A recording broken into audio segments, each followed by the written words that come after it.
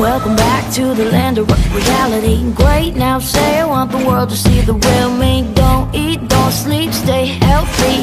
It isn't in the budget to get a ticket for your family. I heard they hired us our own attorney.